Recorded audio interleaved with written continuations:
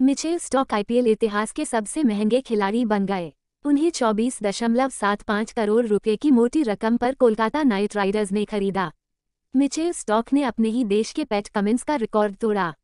उन्हें IPL 2024 auction में बीस दशमलव पाँच शून्य करोड़ रुपए में सनराइजर्स हैदराबाद ने खरीदा था। इस तरह से इस सीज़न के ऑक्शन में दो बार सबसे महँगे खिलाड़ी का रिकॉर्ड टूटा। ऑस्ट्रेलिया से आने वाले इस पेसर की बेस प्राइस दो करोड़ रुपए है। वह आठ साल बाद आईपीएल में खेलने जा रहे हैं। 2015 उनका आखिरी आईपीएल सीज़न था। वह बाएँ हाथ के पेसर हैं और शुरुआती ओवर्स में काफ़ी घातक साबित होते हैं।